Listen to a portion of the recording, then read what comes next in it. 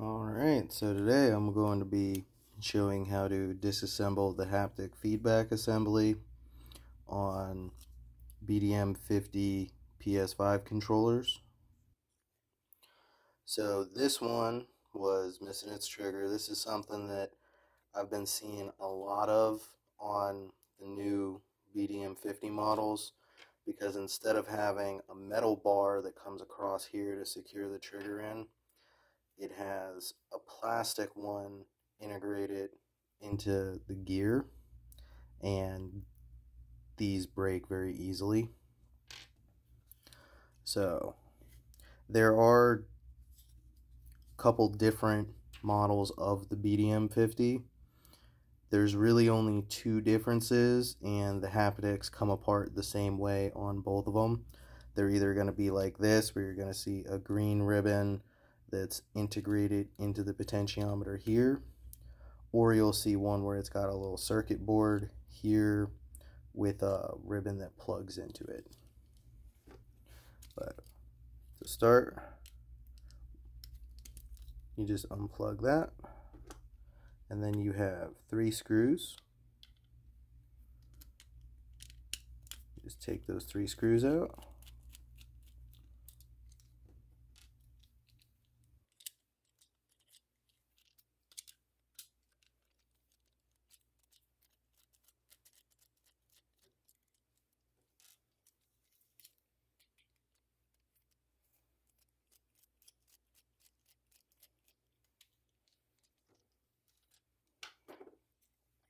Once you have those three screws out, you can just pop that straight out. This can fall out pretty easy, so I always like to lay that face up. If this falls out, it's not really that big a deal. You just need to make sure that it pops back through the potentiometer there. And then this, if you need to change that, that just get something under there, you can pop that right out because that bar is not in there, that just kind of falls out. But normally, to take that out, you just pull it up and then you can pull it out. When you're putting your trigger back on, you can see the spring there. There's a little notch. You want that to be over the spring.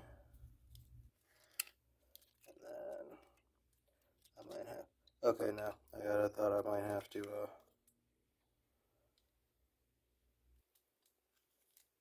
so you put that in, put that all the way down. Then you want to take this and rotate it all the way down until it doesn't go anymore. And I always put my thumb over the gear right there and it just snaps back into place. You want to make sure when you're doing this that the gears properly aligned or the haptics won't work correctly. So you can test it by just bringing it up. You can see it goes all the way up to the trigger.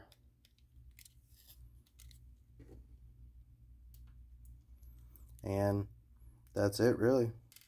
You just put your screws back in and you're good to go.